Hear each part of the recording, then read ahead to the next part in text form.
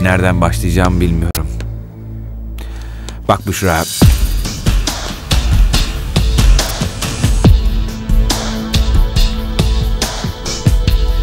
Ben de sizi seviyorum hocam. Size deliler gibi aşığım.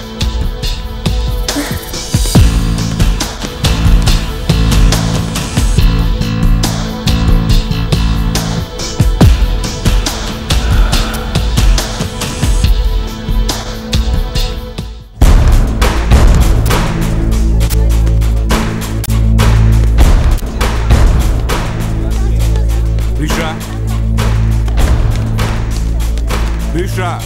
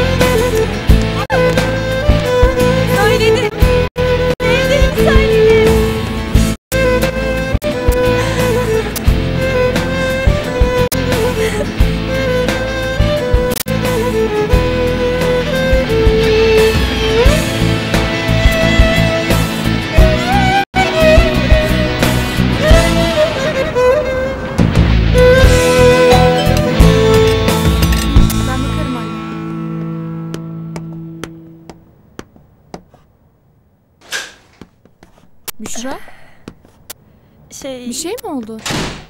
bu gece size kalabilir miyim?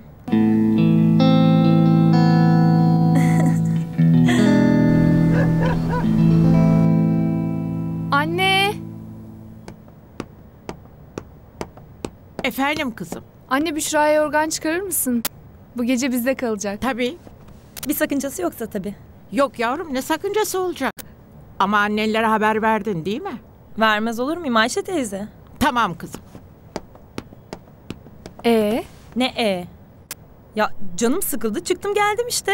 İnsan arkadaşına çat kapı yapamaz mı? ya yapar yapmasına da yüzünde geldiğinden beri geçmeyen şu salak gülümseme bu çat kapının ardında başka bir şey var diyor. Yoksa konuştun mu onunla? Evet. Anlat. Her şeyi bilmek istiyorum. En ufak ayrıntısına kadar.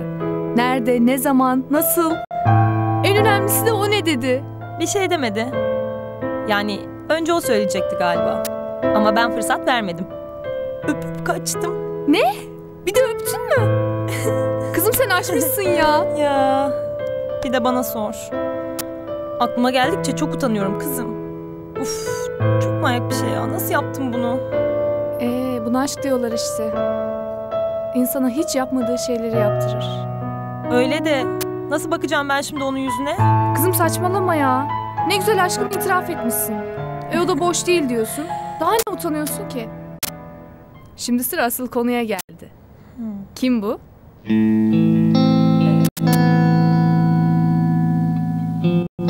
Söylesene kim bu?